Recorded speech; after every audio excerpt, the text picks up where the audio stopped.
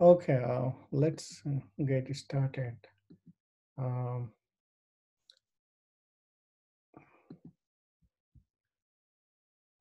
everybody, can you see my screen? Yes, yes, so far. Yeah, like homework set one. Um, as I sent out you all email in midnight uh, that I have posted the grades for homework one and homework two. Did you notice that? Yeah, sir, I some saw that. Yeah, okay, great. So most of you did pretty well. Um, I'm going over quickly. Uh, in rare cases, there are some mistakes. So I'm going to over both homework set one and homework set two solution. And then I'm going to upload this solution in the under the tab homework. Right after the class, I will be uploading this solution. So again, later you can see. Um, so here you see uh, the first problem. Um, so I believe you can remember a balanced three-phase load of 15 MVA with a lagging power factor of 0.85 is supplied by a 115 kV sub-transmission line. If the line impedance is 50 plus J100 ohm per phase, then determine the following.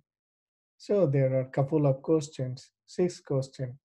So in few cases, I noticed some of you did not answer the question number F. Uh, and in some cases, uh, I think you got different results.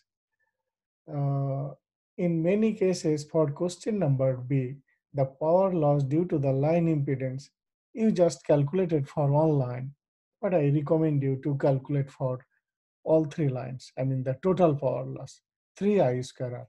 So therefore, let's have a look at that solution. So here is the solution. You see, I have drawn this type of line. Uh, this is the sending end. This side is the receiving end. This is the load. Load MVA is 15 and power factor is 0.85 lagging. Uh, and then these are these represents the line. So 50 plus J100. So when you are asked find out the power loss in the line, so you, did like I square R. So that is for online, but I recommend you to multiply it by three. Everybody see number B power loss 3 I square RL. So therefore 3 I value is just you need to take the magnitude 75.3 on E squared R. So therefore this would be the correct answer 850.74. But I mean, those who have done only this part, you did not multiply three, still like a, a you got credit. Probably I just uh, cut one credit. That's fine. But next time, so if you see in the midterm exam, final exam, other time, please multiply by three as well. Um, I think first part everybody understand. This is uh, because MVA is given as root 3 VLIL. From there I am calculating IL. And then here the angle will be minus. I think two or three, some of you have put the plus sign here. That is wrong because you see power factor is lagging. So therefore because power factor is lagging, so you have to put the minus sign here. If the power factor is leading, then it will be plus angle here. So therefore, keep in mind. I mean, although in power loss calculation, we are not uh, considering the angle, you just need the magnitude, but still you have to put it here correctly. So therefore, everybody like because lagging, so it will be minus. And then everybody understand power factor angle you did. Line to neutral voltage at the receiving end. So here you see I have designated receiving end. This is sending end. So here line to line voltage was 115 kV. So that's why you have to divide line to neutral by root 3. So 66.395 kV. So some of you have expressed in voltage, that is fully fine. And then the next one is uh, voltage drop. Definitely voltage drop in this line, line current multiplied by the impedance. That is the voltage drop. So ILGL. So 8,419.66 volt. And then the question was, what was the line to line voltage at the sending end? Here, line to line voltage. So this means that if you can find the voltage for on phase line to neutral voltage, and then you need to multiply by root 3 to get the line to line voltage. So that's why first you see, first I am doing V line to neutral at sending end. This means this voltage, line to neutral voltage on 15 over root 3 plus this voltage drop, this voltage drop. So that will give you the line to neutral. So that is this number, 73.69, uh, the magnitude, and then I am multiplying by root 3. So the answer would be 127.63. But some of you, uh, you got here 122. So I don't know why you got on 22. That is not the correct. I mean, I have given you the full credit because your process is right. Probably you mess up somewhere in some angle so you got 122. It should be 127.63 Kelvin. So is everybody fine with this problem?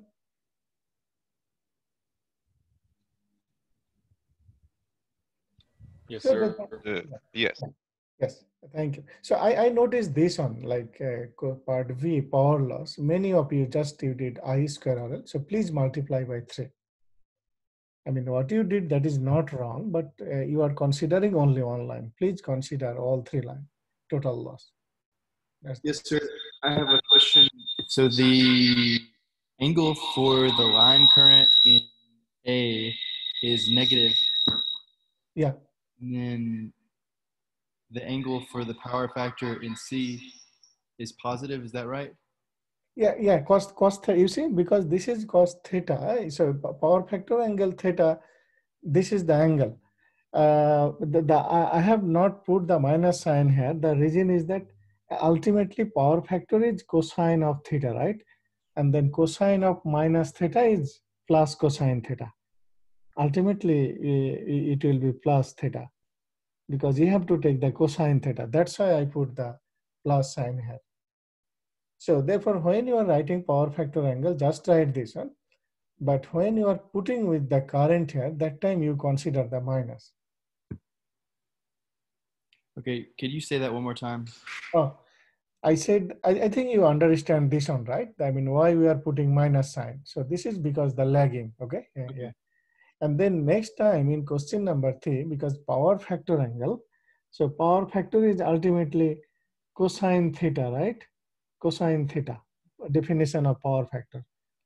So therefore cosine of uh, the minus theta, ultimately that will be cos theta, right? Cosine of minus theta is plus cos theta. Yes, sir. Yes, yes. That, that's why I am just put, because if you are asked to find out the power factor value, therefore even though it is minus sign, cosine minus theta, you will get the plus value. That's why I just wrote uh, in that way. So therefore, when you are, you will be expressing for power factor, that time you just put that angle because minus angle plus angle, it is the same for cosine theta. That's why I did. Yeah. Okay, thank you. Okay, you're welcome. And then everybody, I think, understand the last part. So some of you, you, you look your uh, hard copy, you got like 122 here. So I don't know how, why you got 122 here. So that is much deviated. I mean, uh, I have given you full credit, but somewhere you uh, made mistake. Okay, uh, then moving forward. This one, a three-phase motor is connected to a three-phase line that has an ABC phase sequence and is supplied by 15 ampere current at a 0.85 lagging power factor. If a single phase motor withdrawing 5 ampere at a 0.707 lagging power factor is connected across lines A and B of the three phase power line, then determine the total current in each line. You see, so in this question, so everybody say, uh, first that three motor is fine, that is connected uh, to three phase lines, that is fine. Uh, so other thing is that problem did not uh, explicitly say it is delta connection or Y connection.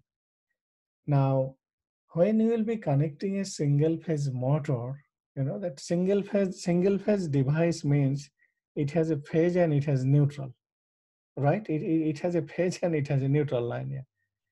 Therefore, uh, I mean, in really, you cannot connect a, a single phase motor between two lines. Uh, but, but if it is delta connected system, then there are some example that you can connect a single phase motor across line A and B, like current entering through phase A and then flowing through phase B. But if you consider it is the Y connection system, then definitely uh, there are two single phase motors connected because it has phase and neutral, phase and neutral. So accordingly, because it does not clearly say it is Y connected or delta connected, so you might solve in two ways, in both ways. You might say, because it is not mentioned, I will assume this is delta connection. So in that case, you connect the single phase motor between lines A and B. So if you say this is Y connection, so then definitely it has phase and neutral, then there are two motors connected, single phase motor, one with line A and neutral, other with line B and neutral. So therefore, uh, let me show you and then you will be getting what I'm telling. Everybody see? This will be the connection. So this is the three-phase motor. You are powering the motor, A phase, then B phase, and then this is the C phase. And clearly mentioned the phase sequence, phase sequence is A, B, and C. This means B phase will be minus 120, C phase will be another minus 120. So first of all, based on the information, because uh, it's supplied 15 ampere and 0.85 lagging. So you can find out the current, uh, you can find out the angle and 15 ampere. So I am putting 15 minus 31.79 because this is the uh, lagging power factor. So you see B phase minus 120 from here, this one, and then C phase another. So, but I have taken the plus 88.21 degree. That is fine. So after that, you see, I, I have written here delta connection and then later I have shown another solution considering the Y connection. So if you say that this is the delta connection, then you see there is another uh, single phase motor.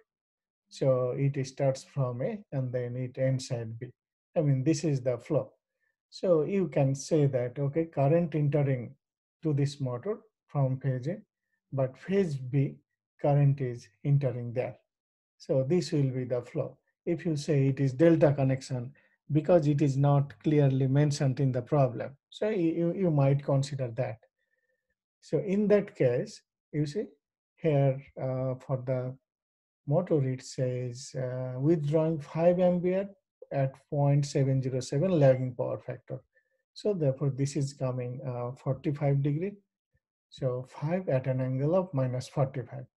And then that same current is entering into phase B. Now the question is uh, determine the total current in each line. So therefore this means, uh, sorry. So this means that you have to find out what is the current entering at the line. So therefore you see for phase A, this current is going into the single phase motor and then the remaining current is entering into the three-phase motor. So for phase B, you see that this is the current that is entering the motor, but this current is coming into this line. Yeah? So this means that for IB will be this current minus this current. So therefore accordingly see the calculation. IA is this one plus this one for IA, this plus this. So I got 19.9 angle minus 35 degree ampere. For IB, so this one minus this one. So accordingly, I got 17.3 minus on 60 degree ampere. So therefore, some of you have did this thing, that is fine. And then also, as I said, because it is not explicitly mentioned, so definitely you can consider that that single phase motor will be connected between phase and there is neutral. Again, there is another motor here, phase and neutral, definitely. As I told, the, a single phase uh, motor, you cannot connect between two lines if it has the neutral. So definitely this is the Y connected system and it has a neutral available. So one motor is here, other motor is here. So uh, across two lines, there are two motors. So therefore, in that case, angle is 5 minus 45. In this case, this is the angle. And then now, for first case, you will be getting the same thing. This one plus this one, exactly the same result uh, that we did here. For IB, you will be getting this result because this one plus this one. So in that case, 19.9 minus on 55 degree. So therefore, some of you have done this one, that is also uh, correct. So therefore, I have assumed the uh, both results because the problem did not clearly say, explicitly say it is delta or Y connection. So everybody understand this one? So I mean, either either either way, I have given you the credit, so so you are fully fine. Okay, so you go back to the answers on the um, okay second way. Can you just hover? This one. Yes, sir. So, did did you get this result?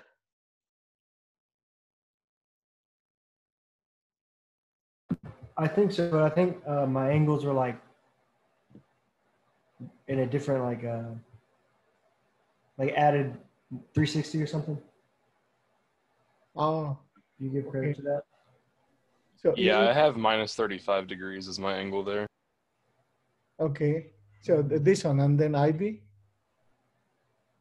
So so uh, you see, uh, did you get this one? So the, the, there are two two types. I mean, you have solved. I mean, two different, three different ways actually. Therefore, everybody, I think you should get I value the same, 19.9 minus 35. Everybody should get that one. Everybody got that one. For the B, as I said, that if you consider that, okay, it nothing is specified, it is delta connection. So in that case, because neutral is not available for delta, so okay, the motor is on motor is connected between two lines. Uh, therefore, in this case, it is flowing and then it is entering at line B. So in that case, you should be getting this result. For IB, 17.13 minus on 68 degree. I think some of you, some of you properly received this one, I noticed. Yeah. So what I am going to do right after the class, I am going to upload these solutions under the homework tab under the homework tab, I will be uploading both solution one and solution two homework uh, under the tab homework. So you can see again. So I mean, now you see, but definitely later you can see again. And then for this one, like you should be getting this result, 19.9 minus on 55. So Jared, uh, maybe you are telling something?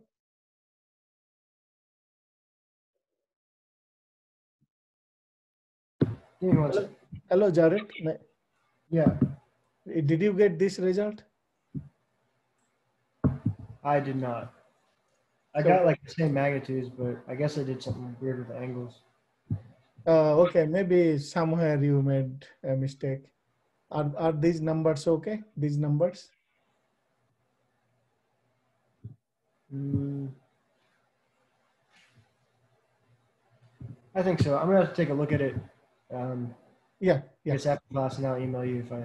Yeah, yeah, sure. And and then as I said, I, I am going to upload right after the class under the tab homework. So uh, later you can see these things, and then you can match with your uh, solution that you uploaded. Okay, thank you. Okay. okay. Sorry, what is this one? Oh, this is the uh, number three. Um, Oh, here, here, like there is some mistakes in some cases. Uh, look this on, this is the delta connected system. delta connected load. So oil, uh, oil calculating the load impedance per phase, that time you need the phase voltage divided by the phase current. So, but because delta connected system, so phase current will be divided by root 3. But some of you have divided this voltage by root 3. So you got different result. Uh, therefore, let's have a look this one. You see, this is the diagram.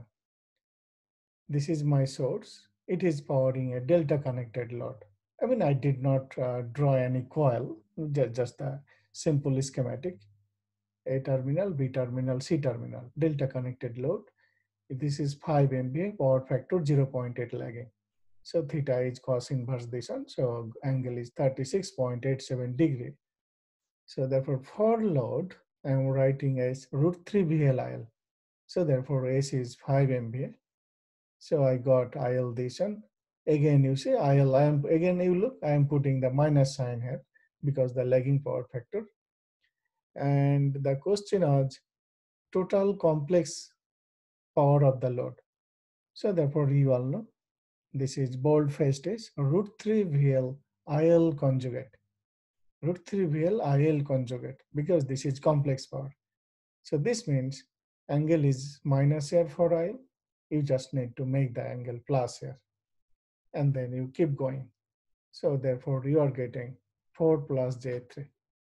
So therefore you see some of you have got here 4 minus J3 because of that angle. I mean that, that is the wrong this will be the right thing 4 plus j3 so if you if you get the result 4 minus j3 meaning that power factor is leading. You see minus j3 means reactive power is minus 3 megavar that is the meaning. But plus 3 means the lagging power factor. So that's why you see really the power factor was lagging. So that's why you have to put minus here and you have to make complex conjugate. So you have to change the sign. So therefore, you, you look your note, some of you have, you have done like 4 minus, that is wrong. I mean, I have given you the credit, but that is the wrong thing. And then look this on, the load impedance per phase, that was the voltage 8320 that was given here, you see line to line voltage 8320 and because this is delta connection so phase voltage and line voltage it is the same so therefore in the numerator that will be fine but in the denominator this was the current value current magnitude you divide by root 3 so therefore sum up you have you have divide this on by root 3 now you have to divide the current by root 3 because this is delta connection so phase current will be uh, you have to divide by root 3. Line current is root 3 times of the phase current. And, and then de definitely this will be the angle uh, with the impedance. So uh, everybody, could you follow me? I mean, those who, uh, who have got the 4 minus J3. So you just look your uh, hard copies, you match, or I am going to post this thing, then you match. Okay, this is fine. Then number four. Uh, this is most of you have done properly, although in few cases I noticed you got different angle. You read this one, a balanced three-phase delta connected load is connected to a balanced three-phase source of ABC sequence. If VAB is this and then load impedance or GAB, GBC, GC this, then determine the following. Line voltages, currents of the load, and the line currents. So you see, I have done here. Again, I am drawing a simple schematic. This is the main source. This is the delta. Uh, so IA, IB, IC represent the line current that you have to find out. And GAB, GBC, GC, I just put it here because it is equal here and here. That is 4.6 angle 45 degree ohm. So now, I'm sorry, because it mentioned ABC phase sequence. So if VAB is 460 angle 30 degree, which was given, then VBC is minus 120 degree from here. So minus 90. Then from here, another minus 120. So minus 210, then anti-clockwise, that is plus 150. So that is the answer for part A. Then for part B, IAB, this means IAB, IBC, ICA. These three phase currents. So you see IAB is VAB over GAB, the phase impedance. So VAB, this is my VAB and GAB is this number. I got 100 angle minus 15 degree. Similarly, IBC this one, ICA this one. Some of you here you got different angle. I mean, all the few cases, but uh, I, I don't know why. So you get the different angle here. Therefore, look this one carefully. And then IA, to calculate the line current, you see this one. Therefore, IAB but uh, it is not plus IC, this is minus ICI. So therefore I is IAB minus IC. And if you calculate this one, those things are given here, IAB, ICA. If you subtract, you will be getting this result on 73.2 angle minus 45. Similarly, IB and IC this one. So some cases you got some deviated angle here uh, you, you did not properly get these two angle. In some cases i have noticed. But what if it's just like you add 360 to that? Is that not the same? So you, uh, you so are you talking about that uh, if you consider anti-clockwise?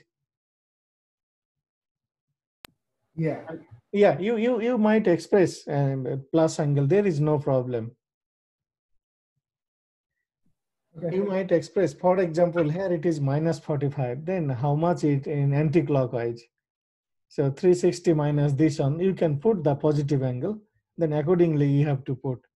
You might express uh, with respect to uh, positive angle, anti-clockwise angle.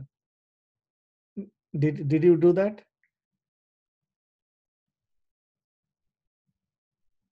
Jared? I did. Okay. So I did it for uh, I did it for IB. Like my IA and IC are the same.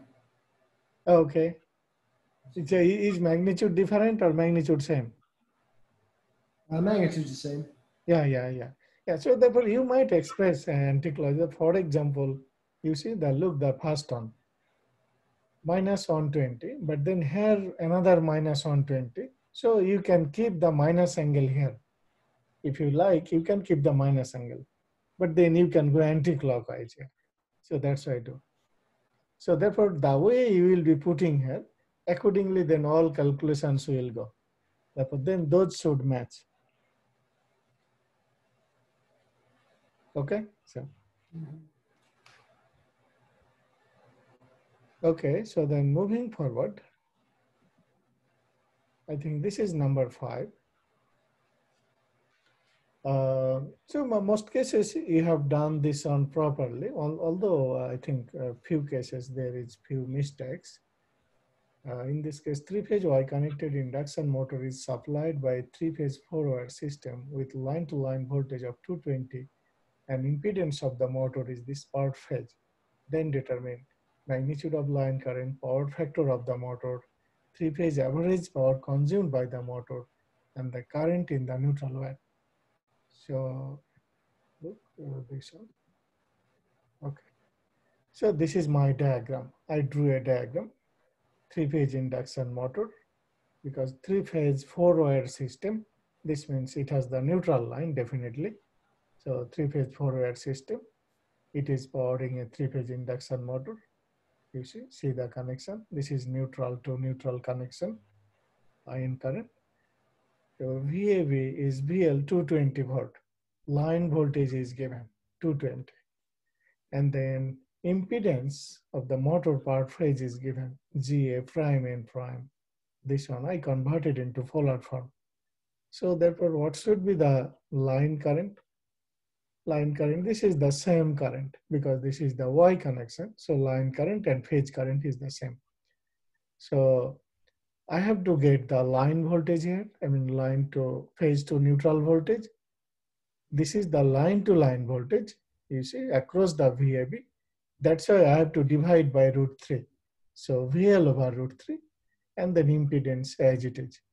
So I got 18.15 angle minus 25.83 degree. So therefore the question was just magnitude of current. So the magnitude of current was 18.15. And then the power factor is cosine of theta. So cosine of that angle, just the impedance angle. Just look the impedance angle, that is 0.9. And then the average power, average power and real power, you know, is the same. So root 3 VLIL cos theta. Root 3 VLIL cos theta. So therefore, some of you uh, have divided by 2 to calculate the average power. I think I noticed, I forgot who, but only one or two cases, uh, I think you have divided by 2. That is wrong. So the thing is that if you use here the peak value, peak value or the amplitude, then you need to divide by 2. But VLIL are the RMS quantity. So you don't need to divide by 2. So therefore line to line voltage and this is the line current and then cosine theta this one. So 6.225 kilowatt. And then the neutral wire current, I, I, I did not do, but definitely, uh, I mean, you, you calculated, you will be getting the zero because for a balanced system, if it is balanced system, then definitely neutral current will be zero. If it is unbalanced system, then you have to calculate. So therefore, that is great that you all calculated. I, I did not show the calculation because balanced system. So straightforward, I wrote neutral wire current is zero ampere. Is everybody fine with this one?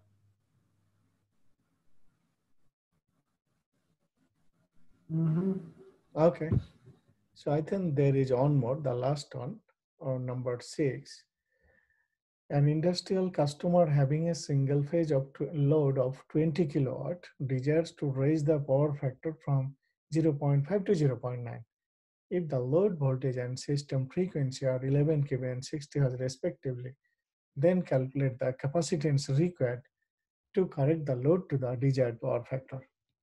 So therefore, I mean, um, most of you have done this one properly. You got correct result. Uh, in three, four cases, I noticed that uh, although it is mentioned 11 kV, but in your calculation, you have used 10 kV. So probably it is the slip of the pen or uh, maybe you look incorrectly. And then accordingly, you got different result. And few cases, you got completely different result. So that's why uh, everybody see the my calculation. So first of all, this will be the correct answer. Look at the bottom. Capacitor value should be 0.547 microfarad. I mean, you might express in farad, that is different, but some of you got completely deviated result or very big result. You got, for example, this multiplied by 10 to the power 11 farad. So I, I don't know like how, where you made mistakes. It looks like you have written down the equation correctly, but maybe your calculator did not help you. So you, you got very, very big value of the farad. So this will be the correct result for this problem. Uh, so then once again, so look the big triangle and then the small triangle. Uh, the big triangle is with respect to the original or the old value. So this is old, this is P20 kilowatt. With respect to the new triangle, this is theta new, this is theta old. So this is your, your Q new. So if you can find out what is the uh, reactive power provided by the capacitor, this means this amount, then you are done. So this amount is you look, this value minus this value q old minus q new. So the informations are given cos theta old, cos theta new. You find out tangent theta, tangent theta, and then plug in in those equation.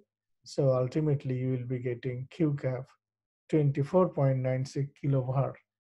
And then use this one. Q cap is VC square over XC. XC is 1 over 2 pi FC. So therefore finally you should be getting this one. So uh, I noticed some of you have used here 10, 10 kV. That's why you got different result. But some of you, although you used 11 kV, but you got very, very big value. probably that, that is uh, from your calculator. Calculator uh, give you the wrong result. Uh, is everybody fine with this one?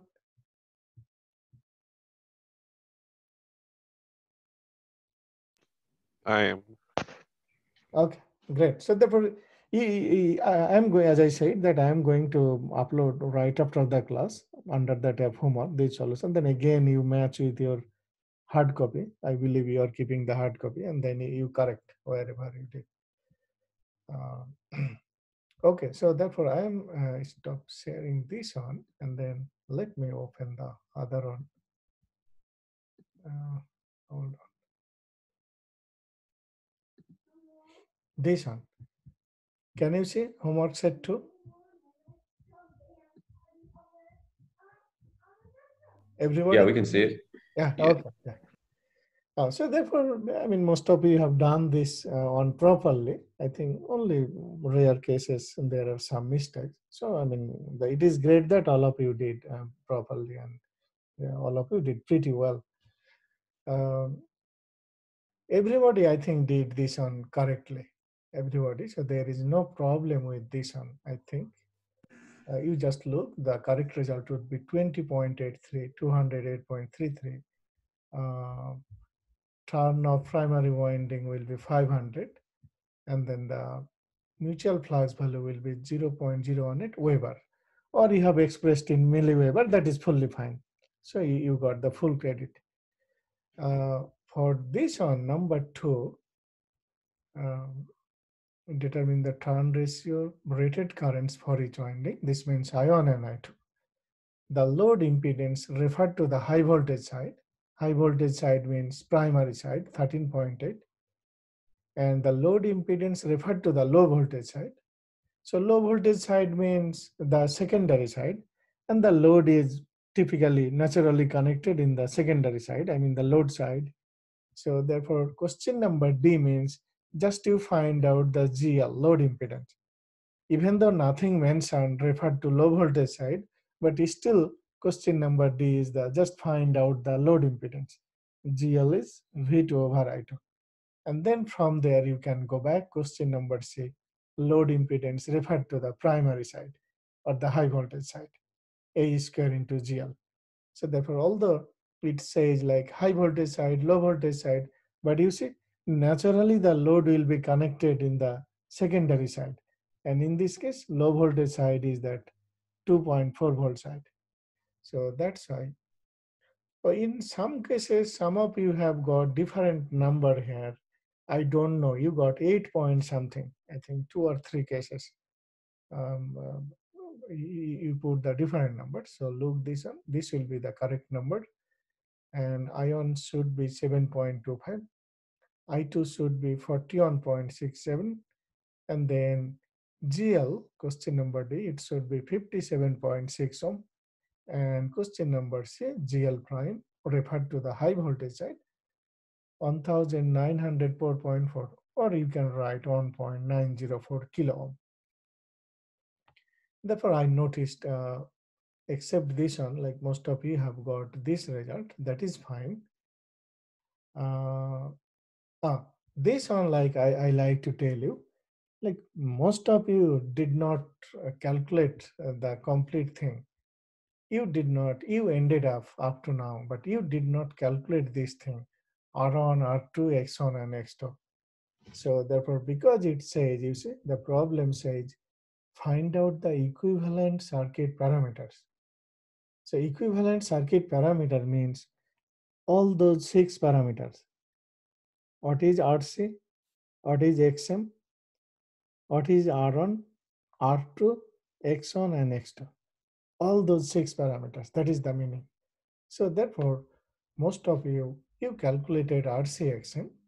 After that, you calculated R equivalent and X equivalent, but you did not do this part. Therefore, I would recommend you all, so please you uh, do this part as well. Everybody, could you follow me what I am saying? Yep. Yeah, yeah. Like you all did this one correctly. I mean, you got correct result, uh, but I would recommend you please complete these things as well. Like you know that. Uh, we, yeah. R1 plus A square R2 was this one. So for a well manufactured transformer, R1 equals to A square R2 is R equivalent by 2. So this is R equivalent value. So from there, uh, you will be getting R on this number and the turn ratio A, turn ratio, I think it was 10 for this transformer. I did that on here and then uh, I got this one. Similarly, find out x1 and x2. So x1 is this, x2 is this number. So please, I mean, I think 95% cases you did not do. That's why I'm telling everybody. I mean, next time in the midterm exam, final exam, or any time, please calculate these things also. If you are just said in that equivalent circuit parameters. Okay, so and then you look the result. Uh, most cases you got the correct result. You in few cases you got little bit deviated result. Probably you got different angle or different number. That's why. But most cases you got the uh, up to now you got the correct result. Okay, and then this one. Oh, some of you have left it blank, and three four cases you got pretty like strange number. Your result became 0.004 or something. I don't know why you got that one. Everybody see efficiency output over input. And what is the input? Input means output plus losses. So therefore uh, calculate the efficiency in two cases. One is considering power factor 0.9 and then other case power factor unity power factor value is 1 so in the numerator, you need output power. So 75 kVA was given in the problem. Oh, it says the look the problem three. Use the that transformer information because you will be getting the uh, what are those? You will be getting the loss information, copper loss and core loss. Plus you will be getting the rating. So 75 kVA and these two are the losses. So 75 multiplied by this power factor and in the denominator again that one plus two losses. I expressed in kilowatt. Yeah. So accordingly I got 98.26% and then again you just repeat uh, for the unity power factor. So just power factor 1. So therefore here you will get little bit higher value which is 98.43. So therefore I noticed three, four cases you did differently. You got the result 0.00 something 0 point. So therefore, those who have made that mistake, please you look that where and why you made that mistake. Okay, so then the final on this one, uh, I think uh, before submitting the homework, I discussed this one. So most of you have done this one properly. You see, this will be the simple picture, simple schematic. So I got uh, active power value. I expressed in megawatt. Most of you expressed in kilowatt. That is fully fine. This will be the result. 0.086627 on 3 megawatt. Or you expressed like 86.627 kilowatt. That is fully fine. So therefore, I think almost everybody have done this one properly, this one correctly. Is everybody fine? Yep. Okay. So uh, as I said, once again, right after the class, I am going to post these two solutions uh, under the tab homework. So again and again, you can see. Now let me uh, take you to the class. Hold on. Now everybody, can you see the new slide, midterm exam one? Can you see this one? Yes, sir. Okay. Yep. okay. So you see, this is the message to you. Uh, you all will be taking the midterm exam on, on coming Tuesday, September 22. Uh, here you see, I have written down the usual class time, 9.40 to 11.05, but I will allow you about three hours because you need to scan, then you need to upload. Um, so I will allow you a long time and then some of you have class right after this time. So what I am going to do, I am allowing you three hours, like 9 to 12, 9 to 12. So I will be uploading the exam paper uh, on eCourseware. So I will create a new tab uh, named like exams. And there I will be, you can see the exam paper, midterm exam on. And, and also I will create a Dropbox midterm exam on where you need to upload. So exactly at nine o'clock, like I will be uploading that on. So this means it will be available. You can see it at nine and then right after that you can start writing answer on, your own pieces of paper of course uh, blank white paper you write down your name and you start writing or if you like to you can type on comp you can do that or whatever way either you write by pen or you type it's up to you and then final uploading time is 12 noon so therefore some of you may have class right after this time. That's why I am allowing before you start your class, before you start even this class, you can start your exam at nine. So is that fine? Is three hours duration is fine? Yeah, that sounds good. Oh, yeah, yeah, sounds great. Yeah. So um, I, I think if, if you know, if you can answer, then I think one hour and or one hour, 30 minutes will be fine. Yeah. I mean, usually this time will be fine, but I am allowing you before and after because there might be some internet issue. At the beginning, uh, you, you, may not be able to download the question. That's why I am allowing you some time. And after that, you need to scan and make a PDF file. Please upload the PDF file. Don't upload the JPG file or any photo or any picture. And again and again on single PDF file I mean, that way you submitted homework, please follow the same procedure. That's why you need some time at the end. You scan and make them PDF file and then you upload a single PDF file on the Dropbox. So soon, um, today or tomorrow, I will be creating the Dropbox for the exam. Okay, and then uh, as I said, as a syllabus, uh, you have to look class lecture 2 through 10. 10 means today's class.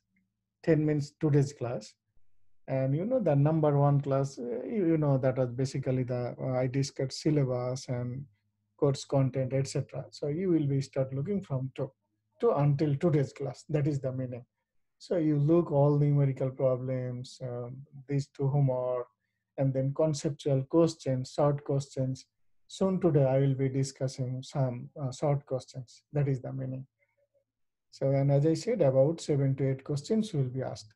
Now, among these questions, maybe 50% numerical problem and then 50% short questions. Like the, for example, why is power factor improvement important? Or how can you improve the power factor? This type of question. That is the meaning of the conceptual question. So therefore, if you look the book, uh, in terms of book chapters, it is chapter 2, 4, 6 and then 7 means that is the synchronous generator we just started so therefore mainly a three-phase system transformer induction motor induction machine and a little bit from chapter 7 which is synchronous generator but for this chapter 7 if you just follow class lecture i mean two days and then the uh, previous one then you will be fine in fact i would recommend you all properly look all the class lecture, mm, mm, class note, and then you have listened, you have note down something in your note. Also, you look the videos later, then you will be fine, and you look your homework. Okay, so uh, moving forward, uh, you see the last time I think we were discussing this one, if you remember, the excitation system.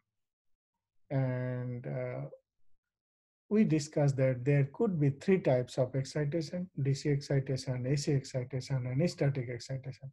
I think we covered until now. And then for this excitation system, there is on controller. It is called automatic voltage regulator. It is called AVR, all the acronyms.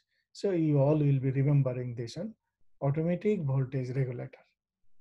What it does, it controls the DC field and hence control the terminal voltage, power factor, and reactive power. So I think I have one uh, model. So everybody see this one. Look this model, figure number three. That is that AVR, automatic voltage regulator. So what is the input? You can say VT. VT means terminal voltage, terminal voltage of generator. And VT not means reference voltage. Reference voltage. Reference voltage means, for example, your generator produces 11 kV rated voltage. That is the reference voltage, 11 kV. And VT is the measured terminal voltage. For example, due to some disturbance or some issues, voltage is not properly 11 kV. It is not properly what is your desired or what is the reference. That is the measured voltage. So therefore, and then this system is in real practice this is installed with realistic generator. 24 hours, this AVR system is monitoring this voltage. What is the terminal voltage at each and every moment? Is there any difference with this or not? I mean, your goal is to maintain the rated voltage, reference voltage. And now see, what is the function? If there is any difference, this is plus, this is minus, and then you see, can you see this structure? What is this one? k over 1 plus st. This is basically a low pass filter. Low pass filter. If you remember the uh, function, gain function. So k is the gain. S is that Laplace operator. You know, Laplace operator is. And t is the time constant. Time constant, t. So, and then uh, the function of this block is that because this is low pass filter, these are the analog value, analog signals. So there can be some oscillation, some impurities. It is. That's why if you pass through this low pass filter, then you will get a, smooth output, flat output. And then you inject some EF denote is field voltage or reference field voltage. So you inject some voltage and then there is maximum minimum. This is called the saturation or the limiter. You should not put very high value or you should not give very low value. There is a range, maximum minimum. Final output is the EFD is the field voltage, field voltage. So this means that everybody keep in mind, automatic voltage regulator or governor system, it ultimately controls the field voltage by controlling the generator terminal voltage. So now the now everybody see if there is no difference, this means measured voltage is the same as the reference voltage, then this value is zero. Then here it will go zero. But then this is on constant value because always you need some sort of uh, field voltage. Always you need some excitation or magnetization of the coil. That's why always there is something in case there is any disturbance or this voltage is not same, then there will be some value here. Accordingly, something will be added there. That is the meaning. So typically during any short circuit or during any fault in the network, terminal voltage goes low. Terminal voltage goes low. Consequently, you will be getting the positive value here. That will be the positive value. This means you need to increase the excitation. If you increase the excitation, if you increase the DC flux, then your voltage will be increased. That is the meaning. So therefore, again, in the future, in case if you have any chance to visit any real power plant, then definitely you can ask the power operator, okay, where is your AVR system? I like to see the AVR. Then they will show you the AVR system. So therefore, you simply speaking, AVR controls the DC field by controlling the terminal voltage. That is the function. So that's why, you see, I have written down here automatic voltage regulator, it controls the DC field and hence control the terminal voltage. And if you control the terminal voltage, then it will improve the power factor.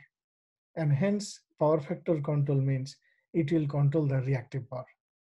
So therefore everybody keep in mind that automatic voltage regulator actually controls the DC, volt, DC field and that control the terminal voltage and ultimate result is that controls power factor and hence the reactive power. Therefore, you all will be keeping these three, three terms, terminal voltage, power factor, and reactive power. Those three will be controlled by the AVR system. That is the main function of the AVR. Now, moving forward, here you see, I have written prime mover and energy supply system. You see, we are discussing the synchronous generator. So in last class, I was discussing to develop voltage, to produce voltage in any generator, two things are important. One thing is you need a magnetic field, you need flux. And second thing is that you need the speed, you need the rotation. So that rotation will come from the prime mover, which is called the energy supply system. Energy supply means in this case, there's coal, oil, gas, nuclear, steam, water. That is the meaning. Which are the energy supply to the mm, system. And then final output is your electrical output power. So therefore, now I am discussing that prime mover. So you, you all know these things that prime mover could be hydraulic turbine type, which converts kinetic energy of water into mechanical energy. It could be steam turbine that converts thermal energy derived from fossil fuel and nuclear fission system into mechanical energy. So therefore the fossil fuel power plant means coal, oil or gas. See, according to the fuel input, the type or the name of the power plant goes like gas power plant, coal power plant or nuclear power plant. It just depends on the input or the energy supply system to the prime mover, to the turbine.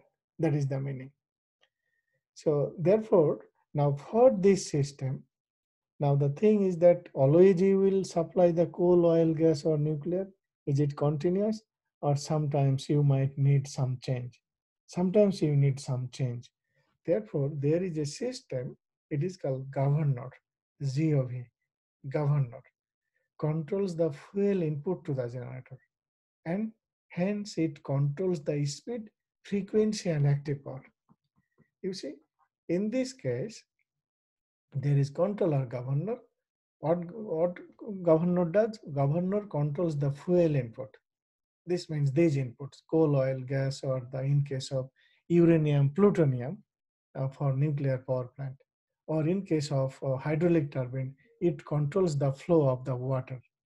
And what it does, if you control the flow, like you are providing the less amount of input or higher amount of input, accordingly your turbine torque will be controlled, either increase or decrease. And what it will do, it will ultimately control the speed. And then speed control means frequency control. You remember that equation? n equal to 120 f over phi. n equal to 120 f over phi. So your pole number is fixed for synchronous generator, but by controlling the speed, you can control the frequency. And if you control the speed frequency, that is the meaning of control the active output power. Because if your speed got reduced, it will produce less voltage. Ultimately, active power will be changed. So that's why governor controls fuel input and ultimate result is these three parameters, speed, frequency, active power. So look here, AVR controls different three parameters, terminal voltage, power factor, reactive power. And then governor controls another three parameters, speed, frequency, and active power. In that way, here three and there three, total six parameters.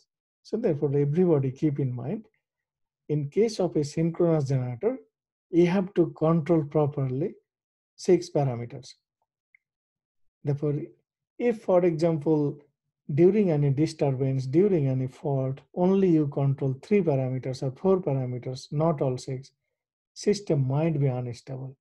Therefore, with the help of proper control, you have to make sure that all six parameters properly controlled and they are running at their rated value, steady state value. That is the thing. And then that governor, and then how you are maintaining that with the help of governor control. This means governing is controlling these three parameters, speed, frequency, active power, and your AVR system is controlling three parameters. And then as I said, this AVR and governor, those are really available together with the generator. Therefore, once again, if you get any chance to visit any power plant, definitely you will be asking that question. Okay, please show us the governor and AVR. Where are they located? I mean, by your own eye, you can see those and how they are controlling. So therefore, similar to that uh, AVR system, governor has also the block diagram. So everybody see, this is the block diagram for governor. Again, the very similar. You see at the input, what is input? Omega. Omega means speed. You see, because this is governor, it will control the fuel input and ultimately it will control the uh, fuel supply to the turbine and ultimately speed. That's why speed, measured speed is your main input. And omega naught is your reference speed. What is the rated speed of the generator? For example, 3000 RPM or 3600 RPM. That will go there as a reference. And each and every time, 24 hours, governor control system is monitoring and measuring the speed. And then it is comparing. Then once again, similar to that, it is a low pass filter. This is S is the Laplace operator, T is the time constant, and G is a gain. Just a number is a gain. So this is a low pass filter. Because these are analog signal, there can be some oscillation and some impurities. So, and there can be some harmonics to reduce those or to suppress those, there is low pass filter. And then the pure number will come here. And again, you see, P naught is some sort of reference power, mechanical power. This is mechanical power, not the electrical power, mechanical power. And ultimate result, P is that mechanical power available at the turbine. I mean, which is the drive main driving force of the generator. So therefore that P is the mechanical power. So therefore, you see, the, according to this diagram, according to this model, the function of the governor is to control the mechanical input power to the turbine by controlling the speed. So therefore, you see, everything is very similar. AVR is controlling the field voltage by controlling the terminal voltage, general terminal voltage. In this case, governor is controlling the uh, turbine power, mechanical power to the turbine by controlling the speed of the system. And how you will control the speed of the system? With the help of the fuel supply control. Don't supply much more coil, don't supply much more gas. There, there will be some uh, valve opening and closing. With the help of those valve opening and closing, you can control the supply and accordingly you can control the speed. That is the meaning. So therefore, now uh, moving forward, uh, I think uh, for today I have set up some short question that everybody will participate with me and then uh, I will not cover new things uh, today beyond that. Uh, we will be just discussing this question and then you are ready to go. And then these questions are very important for your upcoming midterm exams, for your FE exams, and always in your real life.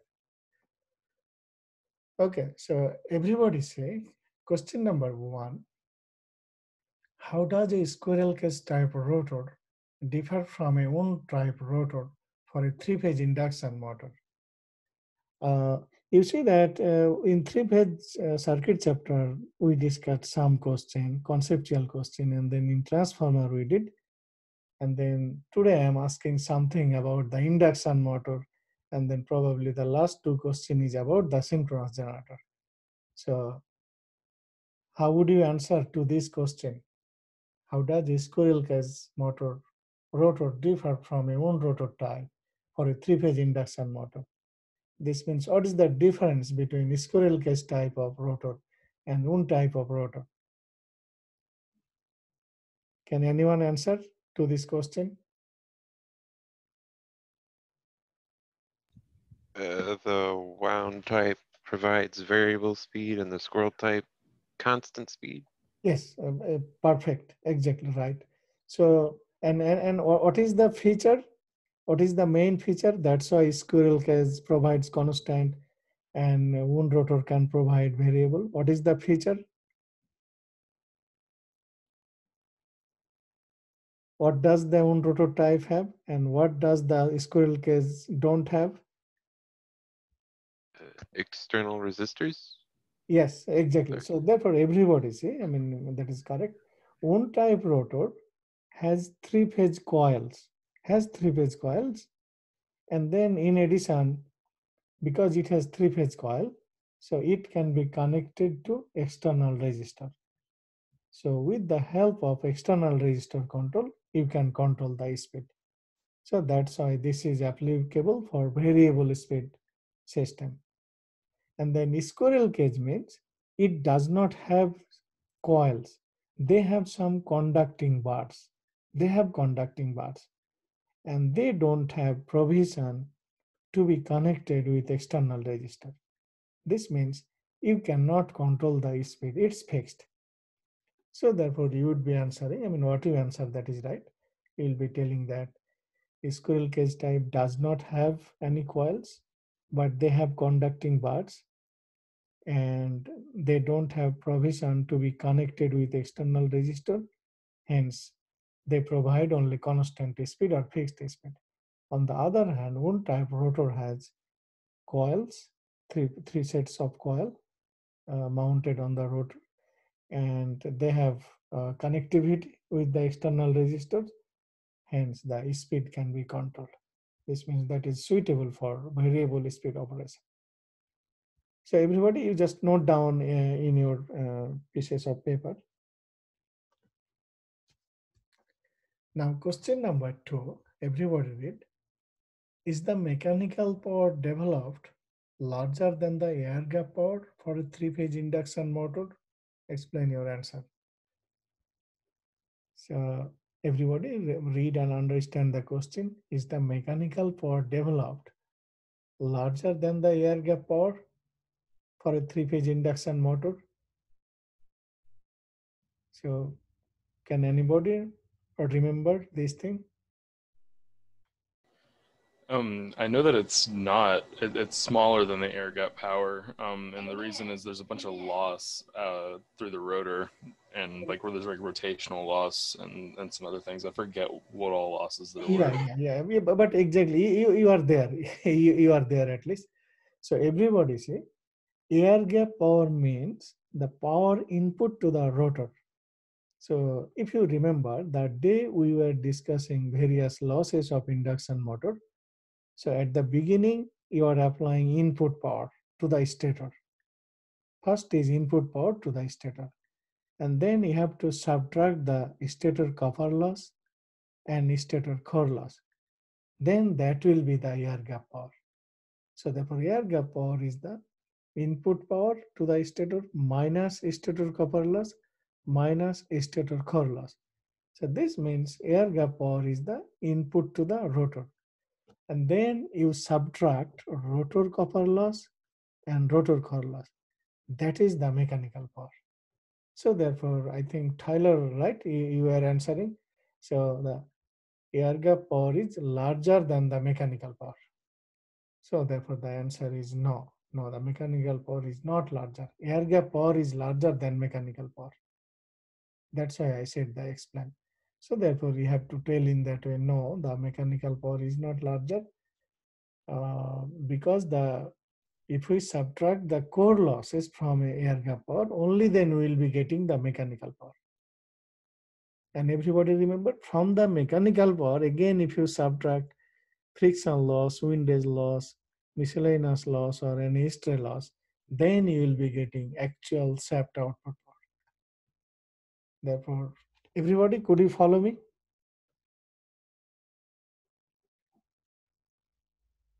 Yeah, yeah, sure can. Yeah, great. Yeah. So therefore, um, I, I understand that uh, we just discussed and you might forget that, that is fine.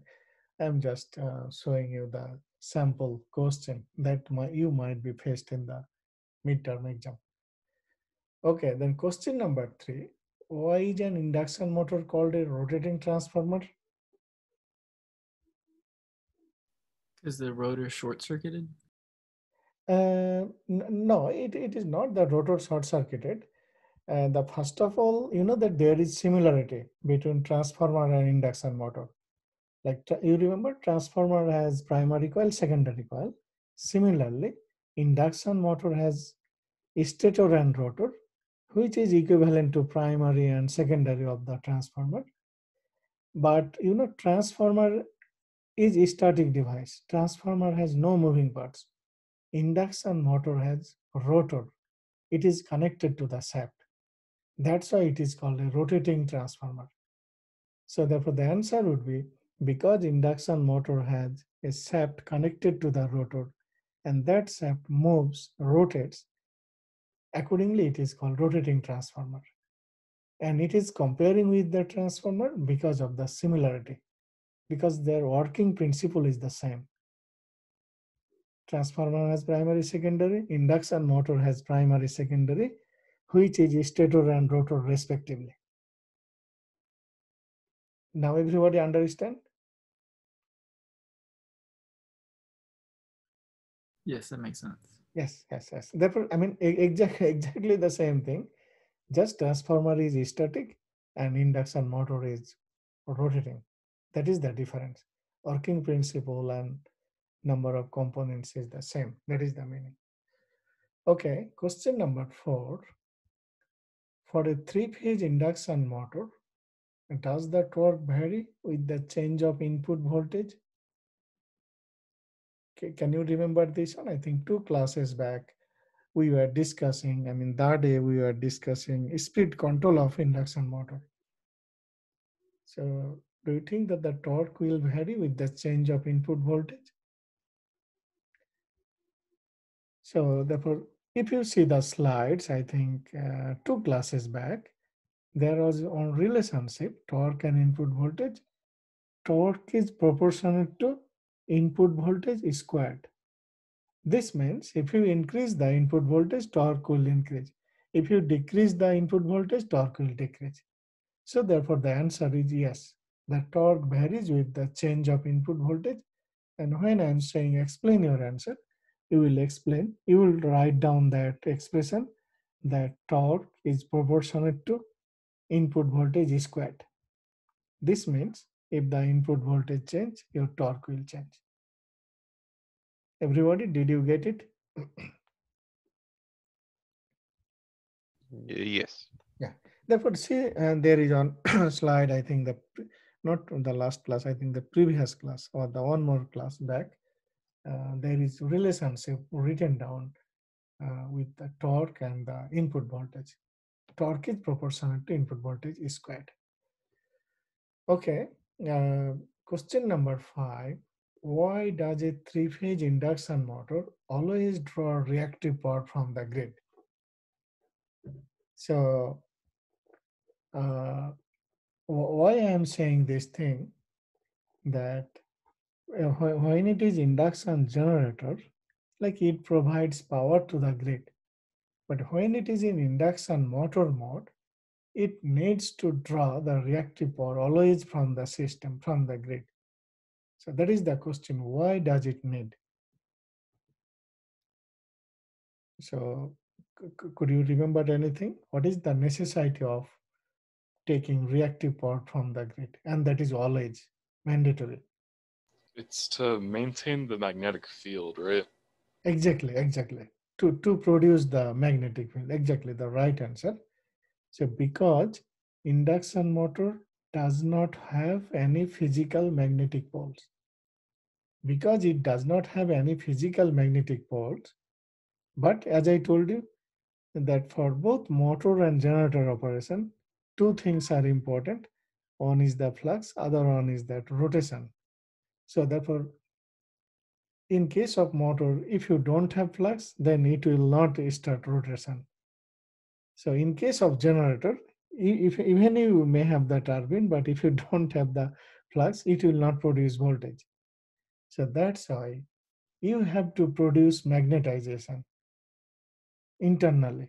There are no physical magnetic poles for induction motor, but still you have to produce the internal inherent or imaginary magnetic poles. That's why you must need to support or provide the reactive power that will cause rotating magnetic field on the stator coils. That is the reason. That's how always it draws reactive power from the grid. Okay, so question number six. What constructional features of the three-phase induction motor make it the most widely used motor today? I mean, the context of this question, uh, later we will see the synchronous motor. You know, currently we are studying the synchronous generator. Right after few classes, we will be studying synchronous motor. But we already covered three-phase induction motor. So if you compare three-phase induction motor with the synchronous motor, and there are lots of other type of motors that we'll be covering, you will be noticing that induction motor is the most widely used. I mean, long time ago it studied several decade back and is still today, that is the most preferred motor, uh, especially in industries. So that is the question, that what's constructional features uh, make it that choice. So therefore, if you see the, the day we started discussing induction motor, I think there is one slide mentioning the main features. It has very simple and very robust construction and it requires low maintenance. Those are the main feature. So therefore they are very simple and very rugged or very strong or robust construction and they need low maintenance. Be because you see, because it does not have any physical magnetic poles and you see in case of synchronous machine, just uh, today a little bit and previous class we discussed, there is DC excitation, AC excitation, static excitation. So there is extra arrangement and time to time you need some maintenance and overhauling of those components. Therefore, in case of induction motor, because it does not have physical magnetic poles, it is only dependent on the reactive power from the grid. That's why it requires less and less maintenance. So, and even it is less costly. So therefore, uh, because of uh, uh, simple construction, it's robust construction, uh, low cost, and low maintenance, this is the preferred choice uh, or the most widely used motor today. Okay, so the question number seven, point out the basic differences between a synchronous generator and a DC generator. So therefore, how would you answer this one?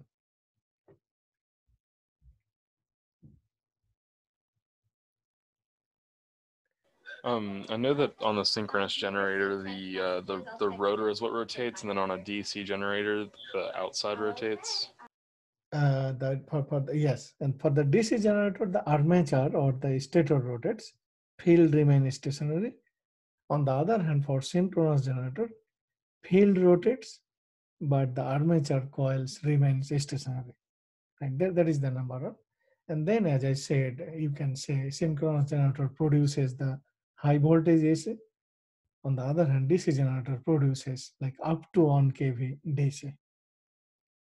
So th th those are the differences. Okay, and then the last question for today. What are the roles of AVR and governor system in synchronous generator? So just we covered today. So how would you answer this question? What are the roles means what are the functions of AVR and governor? What does AVR do and what does governor do?